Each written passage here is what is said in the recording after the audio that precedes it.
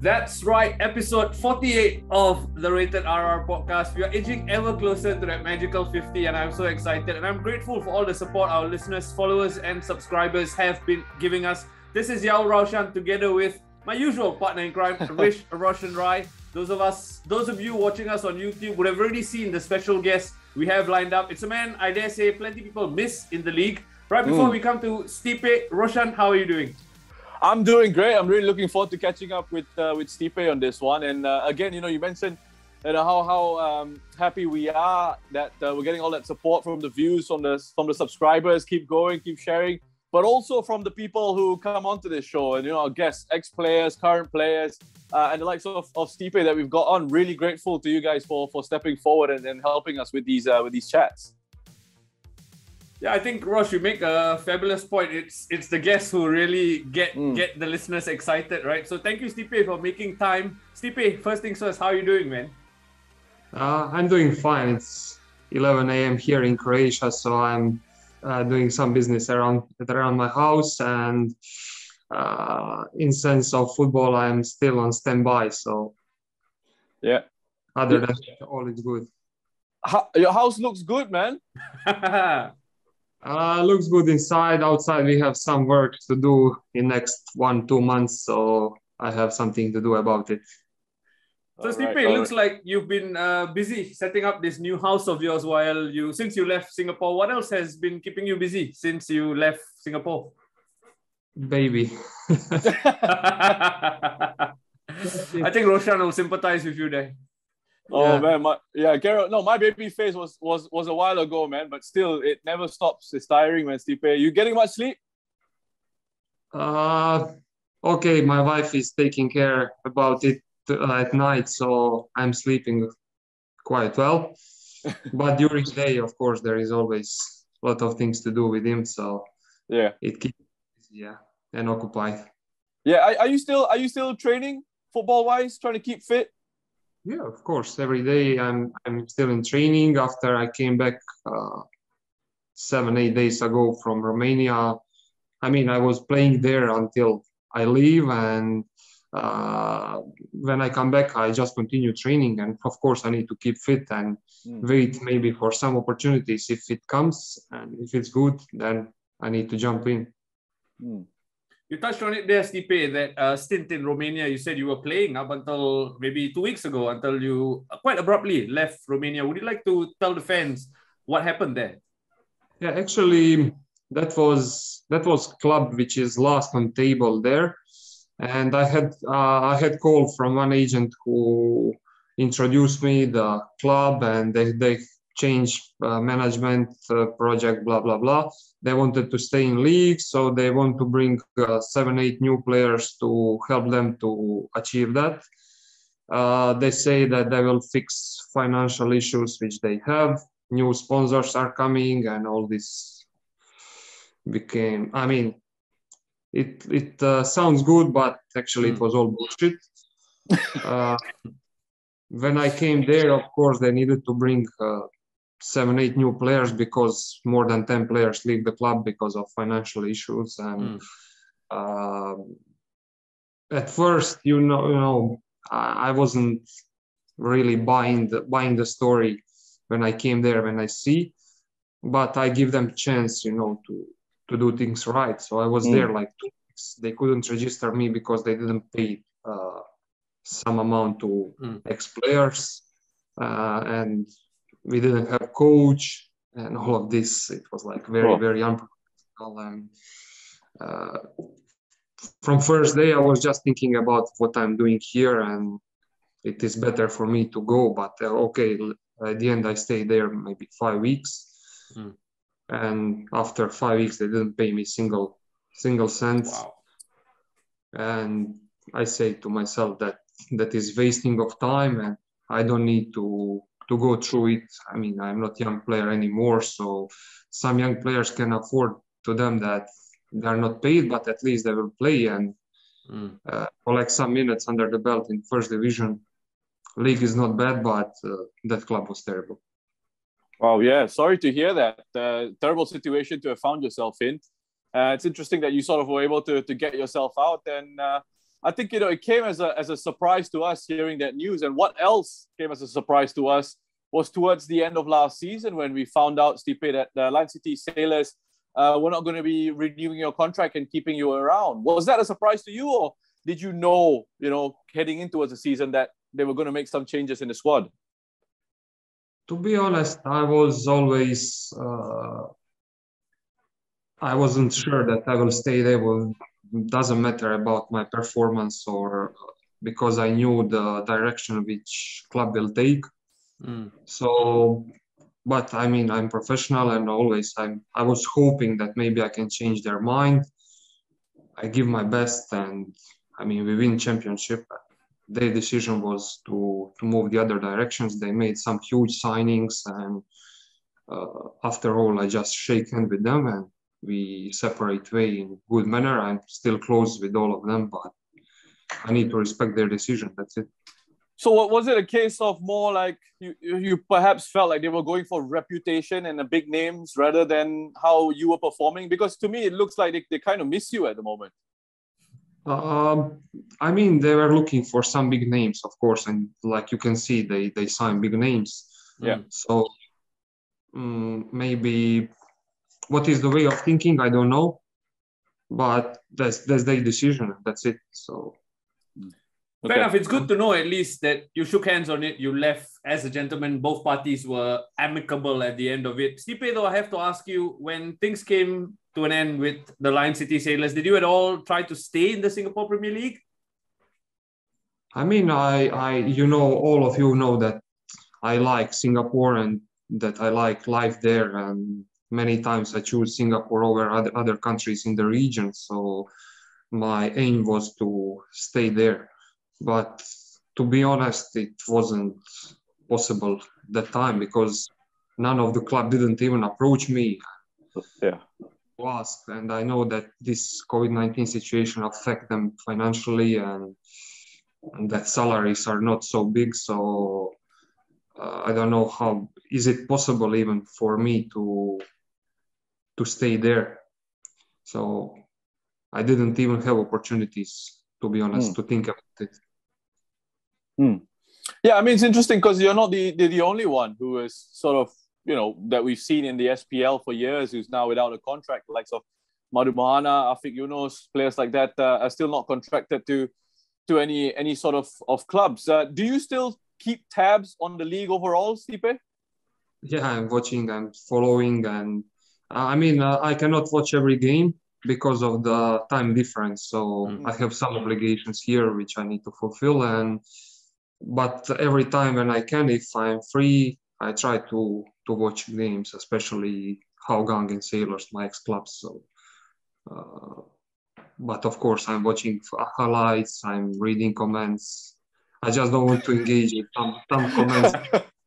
I try to stay a bit on the yeah. side yeah. Uh, it, it's good to know that you're still keeping tabs of the Singapore Premier League. The interest remains, especially with your former clubs, uh, Sailors and Hougang. But very quickly, Stipe, you say you've been catching the action, social media action as well. Which players have caught your eye in the start of the season, local and foreign? Uh, I think Sugic surprised me really because I thought I know uh, because his ex teammate was with me in Romania, so he told me about him that he's mm. very very good player but uh, I didn't expect him to adapt so fast. And uh, you know, he's a big guy. It's not easy to play on artificial grass, but mm. yeah. he performed very well. Yeah. So yeah, uh, I didn't watch too many games, uh, like full ninety minutes. So I cannot I cannot speak about others. Mm. Are, are, you still in touch with uh, guys you were close to, the likes of Gabriel Quak and some of your teammates from Lion City Sailors, perhaps, or even your time at uh, at Hougang? Yeah, I'm I'm in touch with Harris, like Gabriel, Song, with Kiki Krajcek, Shime Juju. Yeah. That's good. That's good. Fa- fascinating to know that you are still in. I mean, I'm guessing some sort of group chats where you still chat about random things like you you were when you were playing in Singapore. We touched on it earlier about uh, the Lion City Sailors going big in the transfer window, right?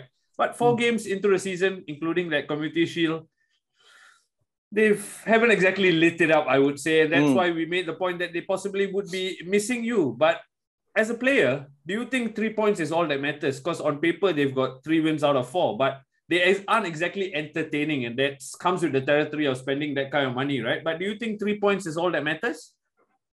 I mean, in professional sports, result is only what, what matters. So after you achieving three points, it doesn't matter if you play good or well. I mean, I would I would rather play well and achieve three points. Oh, uh, sorry, play bad and uh, get three points then play well and everyone talk about your style of play, mm-hmm. attractiveness, and all this kind of uh, things. But at the end of the day, you don't have points. So this is hmm. professional mm. sport, mm. and of course, this is a uh, completely new team.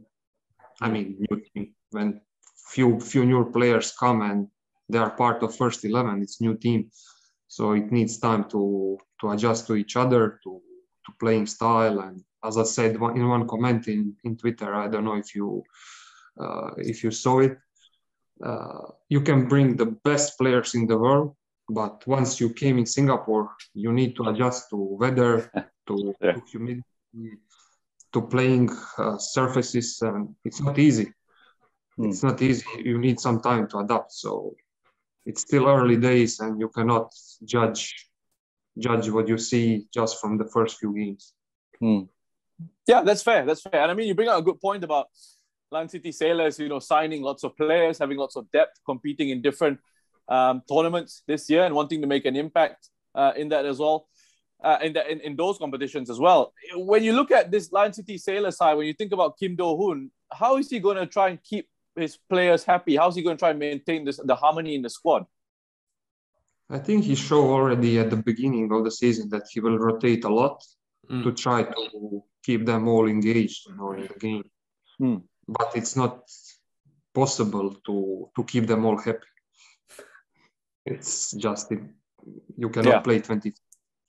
So mm. it's not easy. Not easy about about that.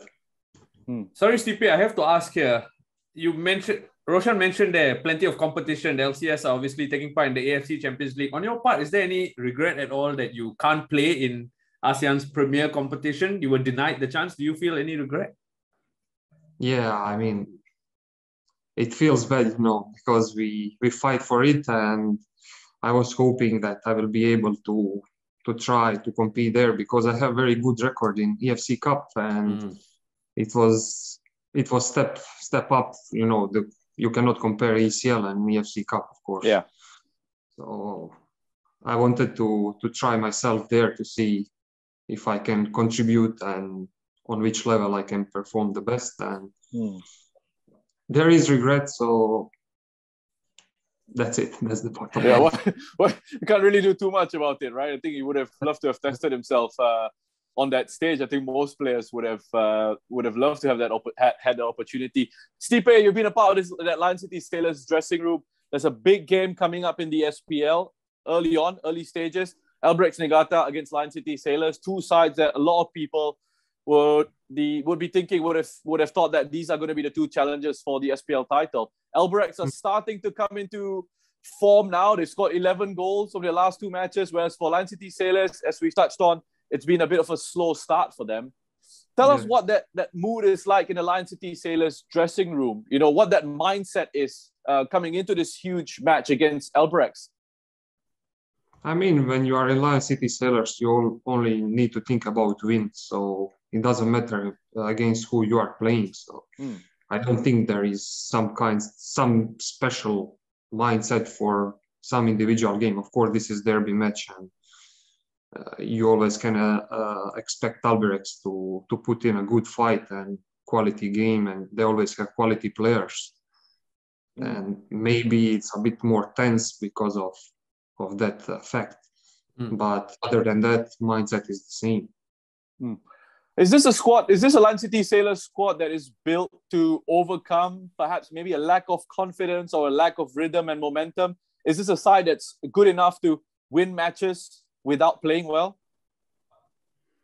Uh, I don't think you can win uh, matches without playing well whole season maybe few mm. matches in season, yes. But if you are not playing well, you cannot uh, sustain that throughout the whole season, especially when you have this long season like this year, four rounds of matches. Mm, mm, mm. Yeah, that's You- that's you fit- survive, you can survive maybe few, two, three matches per year, but not more than that. Yeah, I think we are inclined to agree with uh, Stipe's point, right? Eventually, you might get found out. Okay, let's move it on now to refereeing, which has uh, been in the news lately. Uh, Stipe, before I ask you anything about refereeing or your opinion on it, we know for a fact last year when you were in the league, you were on the end of some bad challenges, man. And Nitin Nambiar, a fan, has actually sent this that you were on the end of some shocking tackles while in Singapore. He wants to know are you back to 100% or have there been some long term issues because of the injuries you picked up? Ah, no, no, no, I didn't have.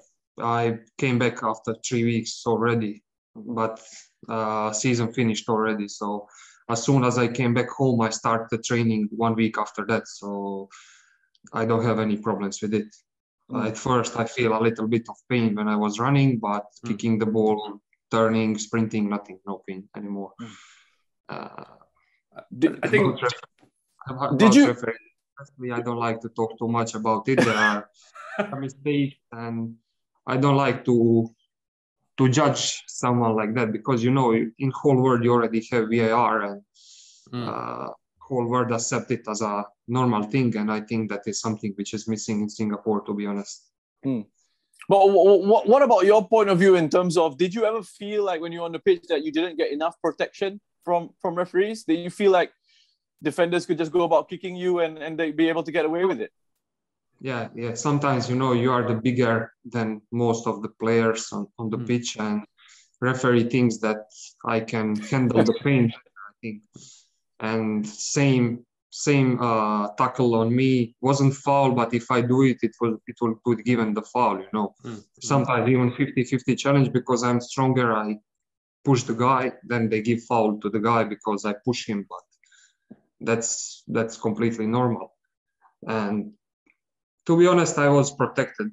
It's not that they didn't give me fouls. I only feel maybe for this last tackle uh, was terrible. To be honest, I could Yeah. I could easily broke my leg.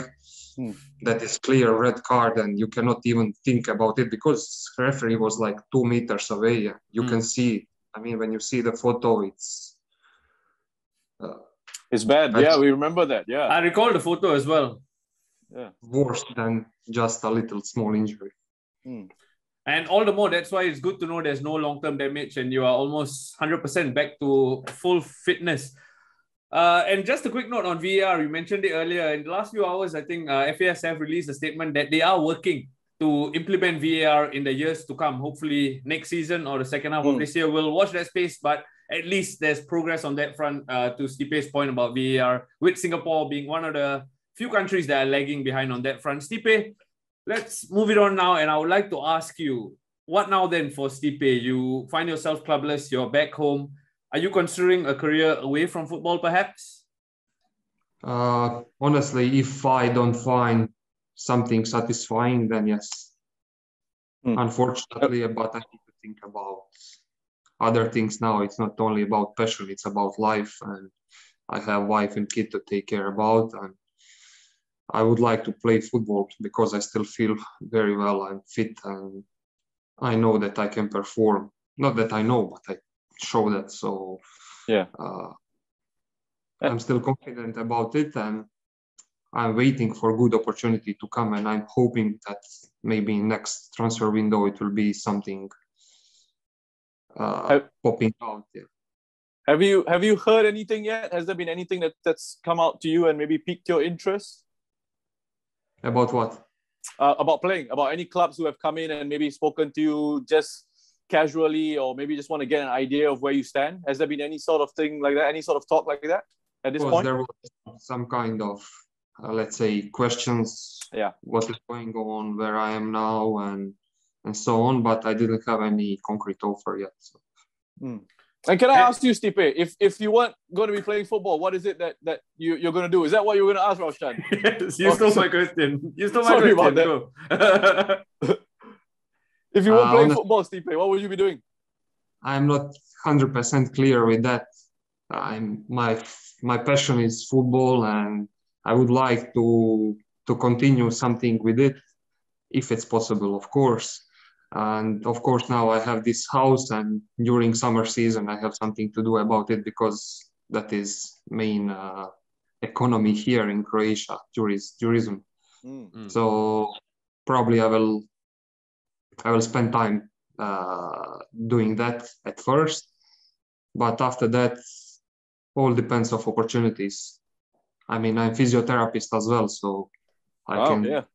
I can do something with it. And but I mean, my I would like to stay uh, in football in some kind of in some way. Just I'm not sure which way because I don't know if I want to be coach. It's a bit more. Uh, Yeah. I'm looking for some kind of stability after football. I don't want to change environment every few months or every few years. Mm. It's not easy anymore. So Stipe, it's evident that you want to stay in the game. I think the game would be lucky to have a striker of your ilk. But are you at all considering coming back to Asia, perhaps? I mean that's my aim. That's my main target for for it to come back to Asia because I'm very disappointed with how things are going in this kind of let's so uh, let's say smaller leagues in Europe. There is lots of comments and this financial issues, and lots of lies, and that's that's something which I I cannot accept anymore. Maybe before I could, but now I cannot. Yeah. I, I mean, Stipe, when we put out, um, when Roshan put out a post about any questions for you, you know, you're, you're still a very popular guy amongst uh, fans here. They all want to know, actually. They're all asking, um, would you come back to the SPL if you were given a chance? If there is good opportunity, yeah, why not? Of course. Uh, on that note, what is it about Singapore that you miss so much? We know you love it here. What is it about Singapore that you miss so much, Stipe? Uh, to be honest, during winter here, I miss this heat. Honestly, funny to hear because when you are there, you get annoyed because of the heat, but when you come Yeah. here, it's cold. Uh, my skin is already dry and wear jacket and these kind of things I don't like because I'm more summer type of the guy. And of course, uh, my friends there because I spent last five years almost there. I have a lot of friends. Hmm. So there is many things, but that is like main points. And I'm I'm guessing you will you will definitely miss the food as well in Singapore because one fan wants to know what's your favorite local food, if there is any. Typical oh sorry, truffle wonton mee, in fact, asking what your favorite Singaporean dish is. Singaporean dish, uh, chili crab. Oof. Brilliant. It's dinner time now as we record this, so you know I'm getting quite hungry. All right, Stipe, just a couple more questions from the fans. This one's from typical province. He asks, having spent time in Thailand, Croatia, and of course Singapore, what have your biggest takeaways and lessons been from your time in various different clubs? Uh, there is many lessons to be learned in this kind of when you are changing cultures and countries. Let's say in Japan, I learned how to be more uh, patient and and disciplined. Uh, in Singapore as, as well, it's different kind of story where players are a little bit more relaxed, but on the other hand, they are professionals and they know how to fulfill their obligations. Uh, Thailand, I didn't spend too much time there, but so I cannot I cannot judge just by five months. That's that's Yeah. not fair. But but you learn you learn about certain things in football behind the scenes as well in, in Thailand. huh? I'm sure we all pick up learning lessons from all, all the I- situations that we experience. I think there is in whole world in in football world there is always something behind the scenes which fans doesn't see and uh, you can only understand when you are inside of it. Yeah. I think I can handle it very well because I'm in that for whole Yeah. my life. But let's say my wife, she don't fully understand whole whole picture, and Hmm. she sees that there are some uh, unfair things going on. Yeah. So, you know, she she cannot take it. Uh, So for it's so much more difficult than for me. yeah. So Stipe, so I just want to ask you before Roshan gets to gets to the last question. I want to leave the last question for him because I know it's something he's very interested in. But but Stipe, I want to ask you with, with all these things that have gone on, these bad experiences that you've had, um, uh, you've had some great experiences, of course, but just with some of these bad experiences that you've had in football, does it sort of at times leave you a bit like jaded, a bit frustrated, and you think, enough, I I've had enough, like you know, you still have that desire and that hunger to want to to want to keep uh, playing. Uh, of course, I want to keep playing. Uh, Hmm. and I mean, until I feel that I cannot play, until my body tell me you cannot. But in my head, I'm still very motivated. I'm uh, I'm missing this kind of feeling, you know, where I'm scoring goals, winning games. Uh, I'm still very, very motivated to compete. That's that's the bottom line. But Yeah. of course, you feel frustrated after some some kind of things happen. But when you wait, waiting, you know, to see which is more in whole Yeah. your life, you always have bad and good moments. Yeah. I'm I try to think about these good moments because there are many of them. It's good to know the motivation levels are, are still high, burning so strongly, and we hope something works out in football soon, man. But just very quickly, moving away from football, Roshan makes a fair point. I, I love Formula One. I know for a fact you love Formula One. You must be excited about the brand new season coming up. It's not a sport. Sorry, Kara. Yeah, especially now this weekend. Now I'm watching this Drive to Survive Ah, uh, yes. And I really hope that this year Ferrari can be a little bit more competitive than last year. And from what I can see in preseason testing, everyone are praising their uh, their car. So hopefully they can try to to be what they used to be before.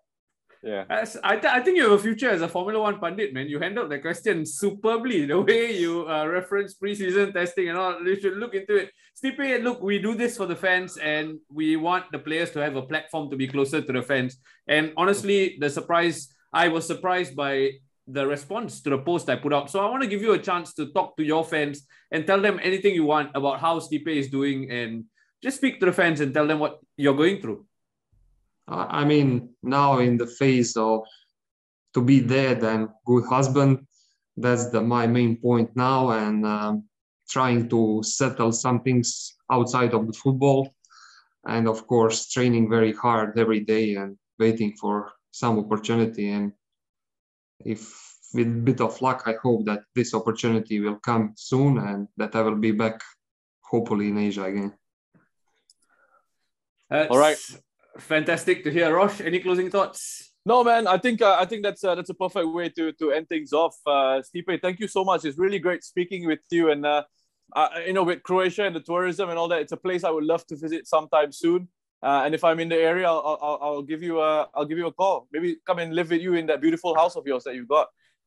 Yeah, let me know, please, and hopefully, hopefully this whole situation in the world settle a little bit because nobody wants war, and Yeah. we want a little bit more secure in sense of the future. So Yeah.